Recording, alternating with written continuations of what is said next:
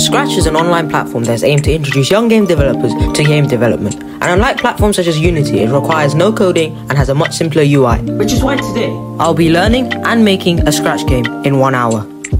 Before making my game, I decided to look for inspiration, and I found many things such as Fortnite for Scratch.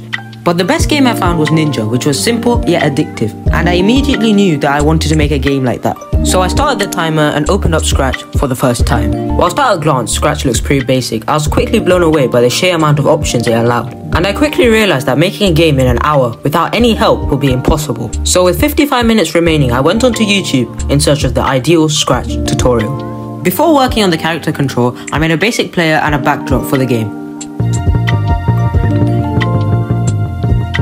By the time I had made the assets, I only had 20 minutes left thanks to the several breaks I took. This meant I had to work as fast as I can to at least make the character move in the 20 minutes I had left.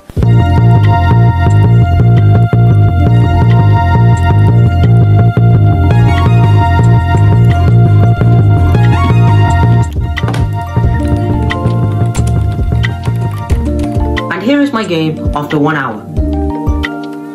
Now, I know it's not the best, but if I had another 30 seconds, it would have looked something like this.